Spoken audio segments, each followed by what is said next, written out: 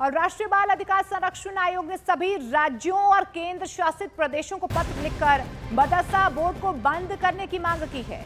आयोग का यह कहना है कि मदरसों में पढ़ने वाले बच्चों को अच्छी शिक्षा नहीं मिल पा रही है। एनसीपीसीआर का यह भी कहना है कि मदरसे राइट टू एजुकेशन एक्ट के दायरे में नहीं आते हैं। ना तो मदरसों में अनुभवी शिक्षक होते हैं, ना ही बच्चों को पढ़ाने के लिए अच्छी व्यवस्था यहाँ पर की जाती है, जिससे इन बच्चों को स्कूलों जैसी शिक्षा नहीं मिल पाती है। एनसीपीसीआर का यह भी कहना है कि मदरसों में हिंदू बच्चे भी पढ़ रहे हैं, जिनका इससे कोई लेना देना नहीं है। एनसीपीसीआर ने मदरसों को मिलने वाली सरकारी फंडिंग को भी रोकने की मांग की। मदरसा बोर्ड जिस उद्देश्य के साथ बनाए गए थे, उस पर्पस को सर्व करने में फेल हो गए हैं। देश में सात आठ राज्यों में मदरसा बोर्ड हैं, जो अपने पर्पस में डिफीट हो गए हैं। इन मदरसा बोर्डों से अफिलेटेड मदरसों में लगभग सभी राज्यों में जहाँ ये बोर्ड हैं, हिंदू बच्चे पढ़ाए जा रहे हैं, दूसरे गैर मुस्लिम बच्चे पढ़ाए जा रहे हैं।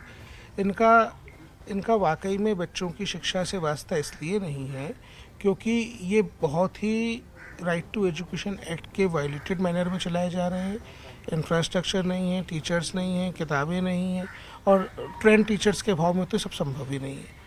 हमने बहुत डिटेल अध्ययन किया है। ये आज भी मदरसे में पढ़ रहे बच्चों के बामुश्किल दस प्रतिशत भाग को सर्व कर पा रहे हैं।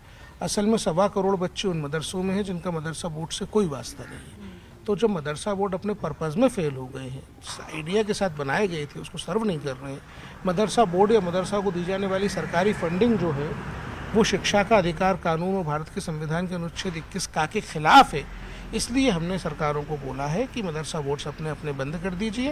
ये सुनिश्चित करिए कि बच्चे स्कूलों में पढ़ें और ये भी सुनिश्चित करिए कि जितने हिंदू बच्चे वहाँ पर हैं उन हिंदू बच्चों को मदरसों से तत्काल निकाल के स्कूलों में डाला जाए।